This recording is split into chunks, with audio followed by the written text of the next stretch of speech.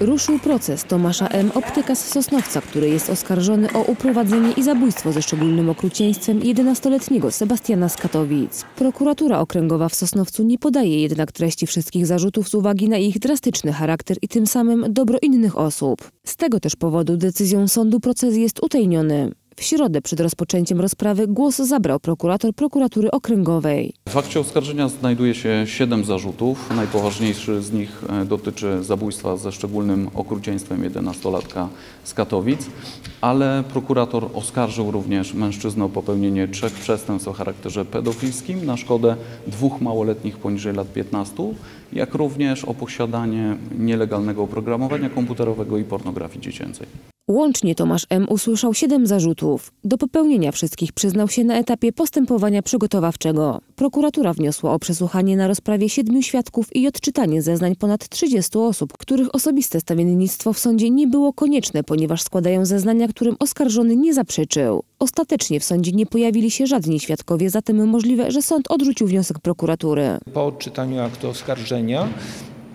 oskarżony składał wyjaśnienia w tym znaczeniu, że odnosił się do wyjaśnień, które złożył wcześniej w postępowaniu przygotowawczym. Na pewno nie jest to sprawa obszerna. Znam y, postępowania toczące się na pewno długo z uwagi na ich obszerność, a ta myślę, że na kilku terminach powinna się zakończyć. Oczywiście to jest moje prywatne przypuszczenie, nic więcej.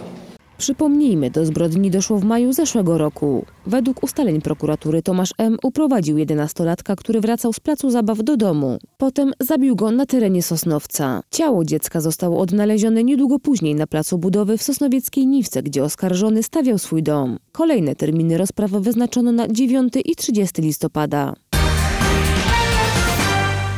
Samorządowcy porozumieli się z rządem w sprawie cen energii oraz sprzedaży węgla. Ustalono, że maksymalna cena za energię elektryczną wyniesie 785 zł za 1 MWh.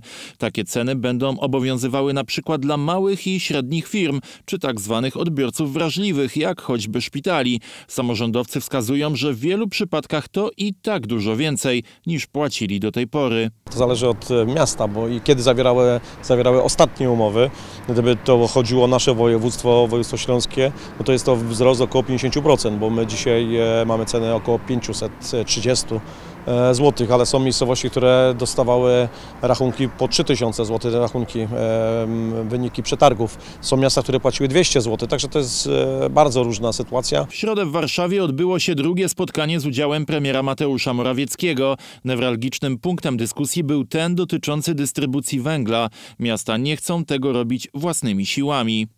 Musimy mm, pomóc, bo y, takie też jest nasze zadanie, aby y, mieszkańcy mieli rzeczywiście dostęp do paliwa mm, stałego ci, którzy oczywiście opalają jeszcze w sposób tradycyjny swoje mieszkania.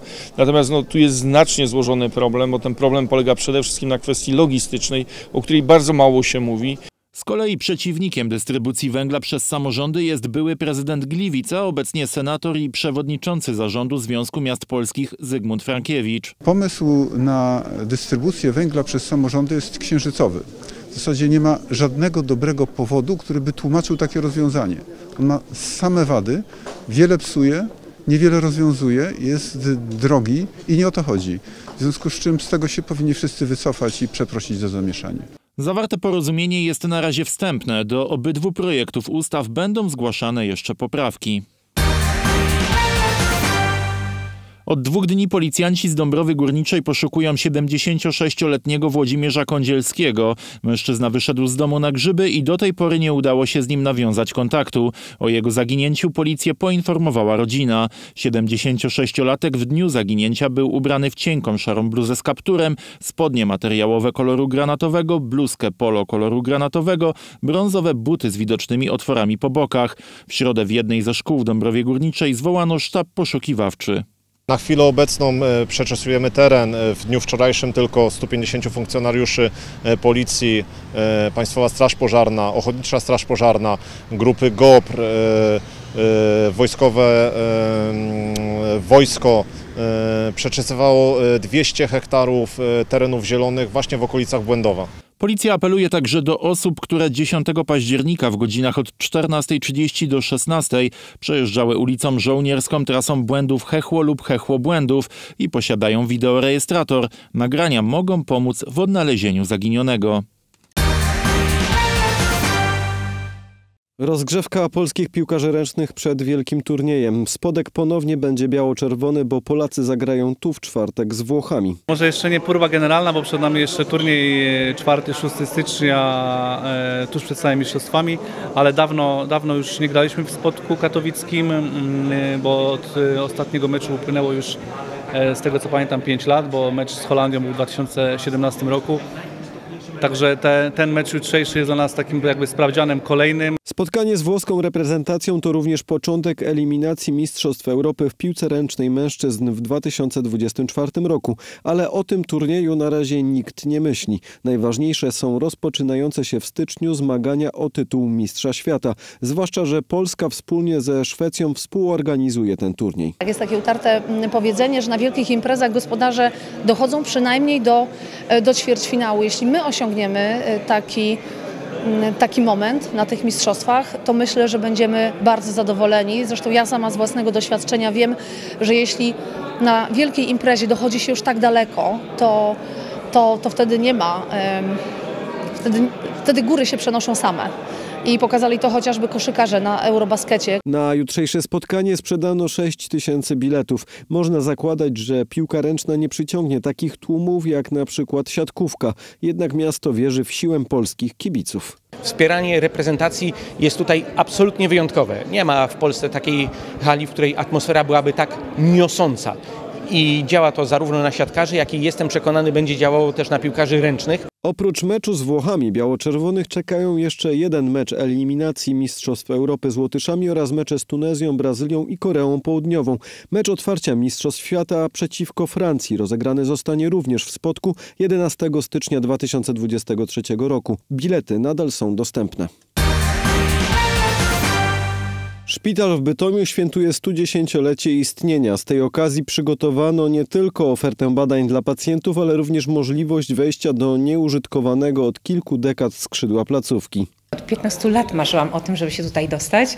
E, Przede wszystkim e, ten szpital jest przepiękny, ma wspaniałą historię i z bólem serca patrzyłam na to, jak ten budynek się zapada, popada w ruinę i nikt nie widzi tego piękna. Szpital został wybudowany na początku ubiegłego wieku, dokładnie 12 października 1912 roku. Do ówczesnego domu kalek wprowadzono pierwszą setkę dzieci. Wtedy była to jedna z najnowocześniejszych placówek w Niemczech, prowadzona przez Kościół. W otwartym dzisiaj dla zwiedzających budynku mieściło się kilkadziesiąt lat temu kilka oddziałów, w tym oddział kardiologii. Miał on być przeniesiony tylko na czas remontu tego skrzydła, ale ostatecznie tu nie powrócił.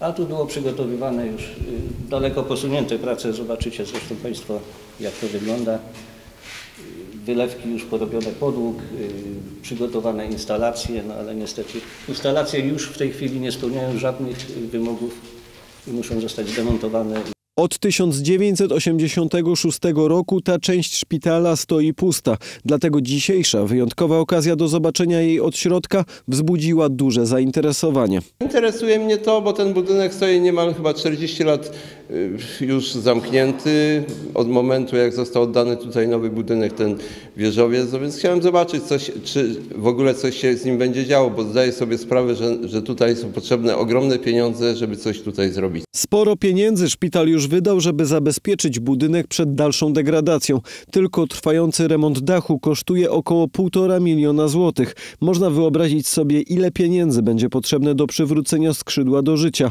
Mimo to placówka ma konkretny plan na jego wykorzystanie. Oddział psychiatryczny, czy oddział dziennej psychiatry, czy też e, poradnia zdrowia psychicznego e, funkcjonują w tym szpitalu. Więc tylko uzupełniliśmy o zespół lecznictwa środowiskowego i spełniamy wszystkie wymogi e, dla tych pacjentów. Nie oszukujmy się.